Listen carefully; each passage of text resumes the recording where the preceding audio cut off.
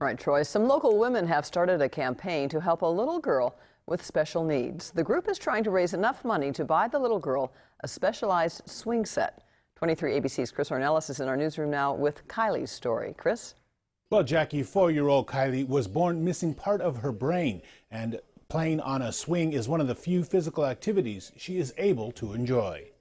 Swinging in the park with the warm sunshine on your face may seem like something every child gets to enjoy, but for Kylie, it's something special. Kylie was born missing a part of her brain. On this MRI, the white is the part of her brain that's missing. Now, she suffers from cerebral palsy. Ever since then, we've been living with seizures every day. Kylie's mom, Nicole Ramirez, believes it's the sensation of movement and the breeze in her face that makes swinging so therapeutic for Kylie. Ramirez says she can feel the tension in Kylie's body melt away when she is swinging. It's pretty hard to see Kylie every day struggling with these seizures.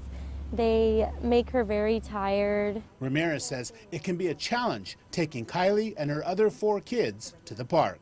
I have the four boys that love to run around. Um, if I go to a normal park where we live, there's really not much for Kylie to do, so she's pretty much left out hanging out with me. this swing at Mill Creek Park is specially designed for kids with special needs, and it's the only one of its kind in all of Kern County. She can't really support her body. Um, she can't go down a slide.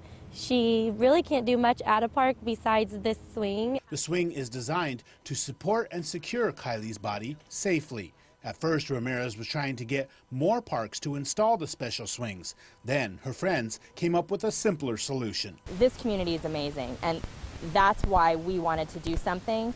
We knew that this community would get behind this child. They started an online blog and created a Facebook page to try and raise enough money to buy Kylie a special swing of her own for her backyard. They are about a third of the way to their goal of giving Kylie the gift so many kids take for granted. I don't have words to tell them how happy I am. I can't even express how I feel. It's so overwhelming. I'm so grateful.